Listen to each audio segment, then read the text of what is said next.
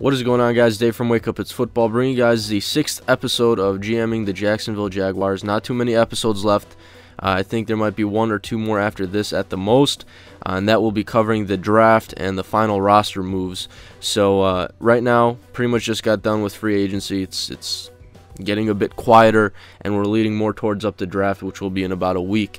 Now, um, let's take a look at the current roster as of right now. Here's the offensive roster. As you see there already, you got Kirk Cousins as the starting quarterback. Uh, now, for free agency, a lot of moves that had to be made just because there was a lot of cap space available and I had to use the money. Um, my my philosophy is, you know, to build through the draft, but with a team like the Jacksonville Jaguars, with all the money that I had, I had to go out and grab a lot of free agents. So uh, first of all, you see there at running back Ben Tate, I brought in. Uh, at tight end, I, br I bring in Dennis Pitta, Andrew Quarless, and Michael Hoomanawanui. Uh, Hoomanawanui is more of a guy who's going to be blocking. Andrew Quarless, I think, could be an up-and-coming tight end. Um, Dennis Pitta again is a you know receiving tight end. Now, in in reality, he was signed with re-signed with the Ravens, but in this GM league, the Ravens general manager didn't want, I guess, anything to do with him. He let him test the free agent market, and I won him. So, um, Marcedes Lewis is still on the roster. Still not sure what I want to do with him. Um, and then again, uh, as mentioned in the last episode, I did bring in Alex Mack um, who was a who's you know, the Browns tried to re-sign him. I threw in a lot of money on him, and the Browns wanted nothing to do with 13 million. Uh, as for the defensive roster, I brought in some guys. Uh, Michael Johnson, I thought I got eh, not bad, you know, five million there um, at defensive end. Johnny Jolly, Johnny Jolly at defensive tackle as well. Uh, Akeem Ayers was a trade that I'll get to in a second. Andy Mulumba, uh, outside linebacker, the Green Bay Packers Got him for 495,000. Um, I think he's good, you know, solid depth at outside linebacker. And then Mason Crosby there at kicker um, is a is a uh, player. I ended up cutting Josh Scobee, who had a 4.3 million dollar cap hit, and I bring in Mason Crosby, who is a, only a 1.5 million dollar cap hit, and I save some money there as well.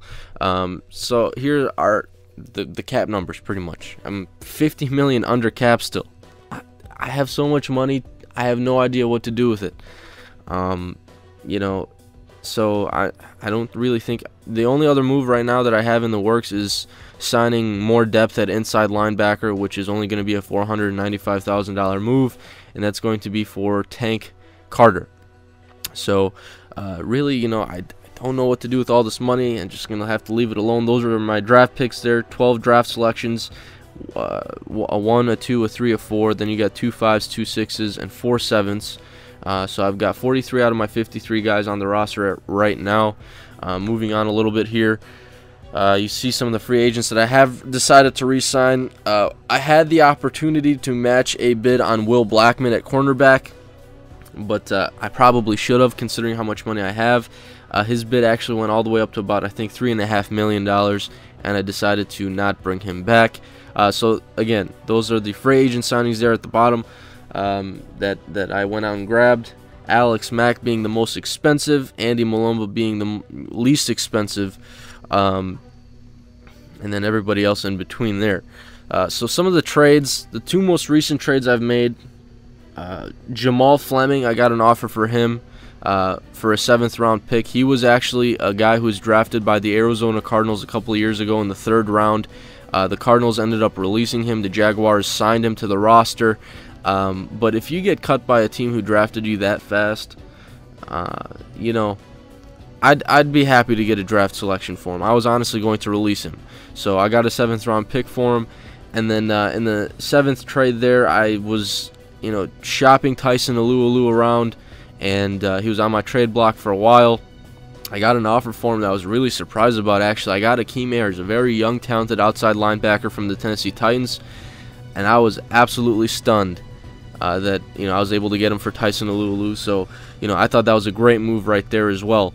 Um, so let's take a look at the depth chart. I hope this isn't too small.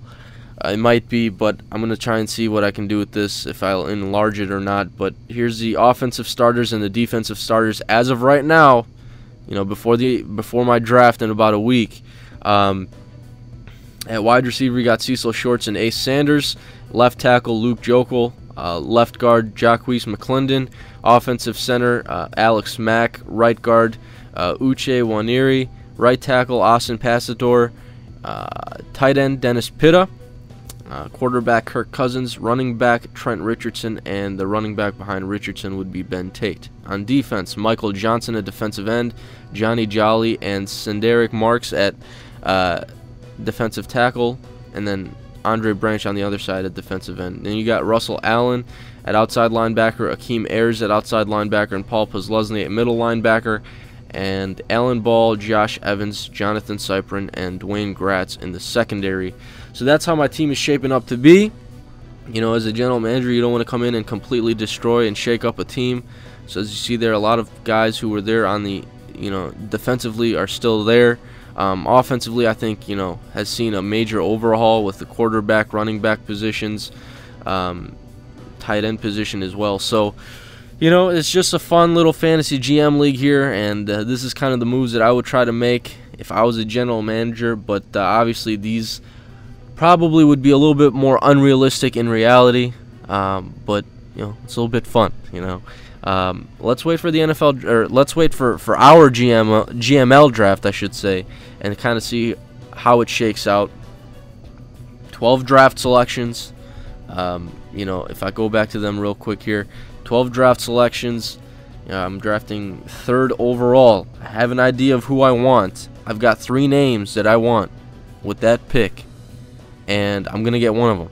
So, uh, I'm, I'm in a good spot. I don't think you know if you guys want to listen to a quick game plan on my draft strategy or whatever. I don't think I'm trading down. I think I'm gonna stay put. You know, I have three solid players there that I'm going to take if you know the first overall pick and the second overall pick take those two players, I, have got a guy that I'm gonna have. So uh, I'm not gonna trade down. I'm gonna stay stay put at three and take one of those three guys. Um, at 39, you know, there's a couple names that I think could be there for me. There's a chance I could trade up. There's a chance I could trade down. But uh, once you start, you know, going past the second and third round, it's anybody's game. So, um, I kind of, you know, I don't, I don't know. It's it's it's hard to tell you guys what I'm gonna do past the first round. Right now, the first round, I'm not gonna trade down. I'm not gonna trade up. I'm staying at three. Um, but after that, I don't know. We'll see. Uh, the next episode should be bringing you guys the entire draft class. You know, and some of the decisions I made in deciding to bring, you know, who I brought in. But uh, that is all for the sixth episode of GMing the Jacksonville Jaguars. Not too many episodes left. Um, but that is all I got for you guys today. I'm out.